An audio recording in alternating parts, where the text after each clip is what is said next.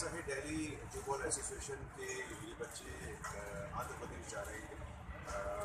Third सब junior championship को खेलने के लिए। इसमें बारह लड़के हैं, बारह लड़के हैं और इनके साथ ही कोच जा रहे हैं। और ये टूर्नामेंट जो है, ये जो चैम्पियनशिप है चौबीस जनवरी से शुरू होकर और छब्बीस तक चलेगी। और इसके लिए आज इनको बच्चों को हमने एसोसिएशन फुटबॉल एसोसिएशन ने इनको फ़ूड और कर दी है ताकि ये बहुत अच्छे से कर सकें जी हाँ ये डेफिनेटली जूबॉल एक नई गेम है और ये मिक्सचर है वॉलीबॉल और बॉस्केटबॉल का लेकिन बहुत ही ऊपर की गेम है फ़र्स्ट टाइम नहीं नहीं इससे पहले भी ये गेम हो चुकी है। नेशनल लेवल में ये नेशनल टूर्नामेंट है वो फिफ्थ टूर्नामेंट थी लेकिन सब जूनियर की ये थर्ड चैंपियनशिप ट्वेंटी कंट्रीज़ इसमें ऑलरेडी हो चुकी है। और इसमें जो इंडिया है इसका ऑर्गेनाइज किसी ने किया है? बेसिकली इसका इंडिया से ही हुआ है। मिस्टर फिरोज इसके ऑर्गेनाइजर हैं जिन्होंने इसका आविष्कार किया है। बेसिकली उन्होंने बॉयज़ और गर्ल्स को बॉल के साथ टारगेट करते हुए देखा था। तो उन्होंने कहा इसके अंदर कुछ नया करके से बनाया जाए।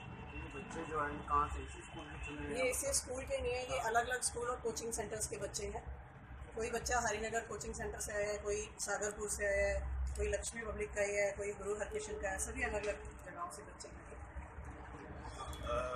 मैं जो लोग ये देख रहे हैं मैं उनसे ये कहना चाहूँगा स्पेशली वो जो लोग रिच फैमिली से हैं मैं चाहूँगा कि चूँकि ये उभरती हुई गेम है अपना सहयोग इस गेम को उभारने में करें।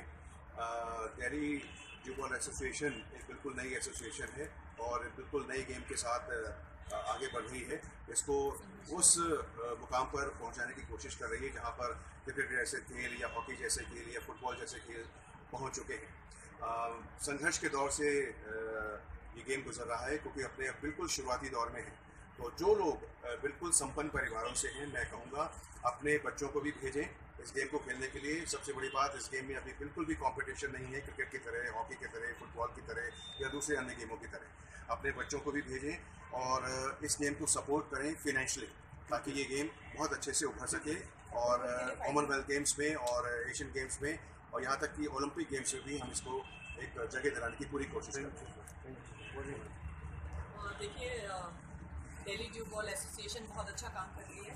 हालाँकि ये एक नया गेम है, बट ये पुराने गेम्स का मिक्सचर है। और बहुत अच्छे तरीके से यहाँ के कोचेज इसको कर रहे हैं और बड़ी डेडिकेशन के साथ कर रहे हैं और अपनी जेब से खर्च कर रहे हैं। तो बस मैं ये चाहती हूँ कि जितने भी लोग आज हमें सुन रहे हैं और देख रहे हैं, ये बड़े गरीब परिवारों के बच्चे हैं जिनको ये स्कूल के टीचर्स हैं, ये शर्मिला जी हैं और ये बहुत अच्छा काम कर रही है। अपनी जेब से इन्होंने आज पूरी किट इन बच्चों को डोनेट की है।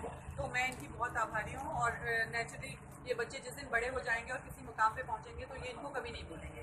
तो मैं समाज के और लोगों को भी हाथ जोड़ के मेरी रिक्वेस्ट है कि अभी इस गेम की जो फ़ाइल है, वो अप्रूवल के लिए गई हुई है और ज़ाहिर सी बात है कि कुछ विशेष कारणों से वो अप्रूव नहीं हो पा रही है। जो लोग समझ पा रहे होंगे वो समझ गए होंगे। तो मुझे उनका सहयोग चाहिए ताकि इन बच्चों के जीवन को हम उबार सकें और इस गेम को हम आगे बढ़ा सकें। तो वो अपना सहयोग मुझे आवश्यक धन्यवाद।